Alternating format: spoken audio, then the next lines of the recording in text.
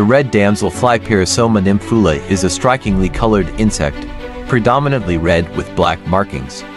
Males typically have a bright red abdomen with distinct black rings, while females are darker red, sometimes with additional black on their bodies.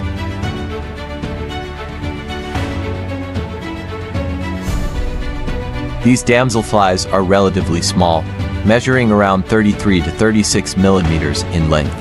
They are commonly found across Europe, particularly near slow-moving or still bodies of water such as ponds, lakes, and canals, where there is plenty of vegetation.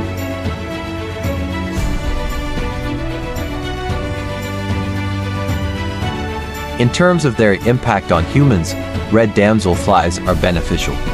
They play a crucial role in controlling insect populations by feeding on smaller insects like mosquitoes. Despite their vivid appearance, they are completely harmless to humans as they do not sting or bite. Their presence in an ecosystem is a positive sign of a healthy environment, contributing to the balance of insect populations.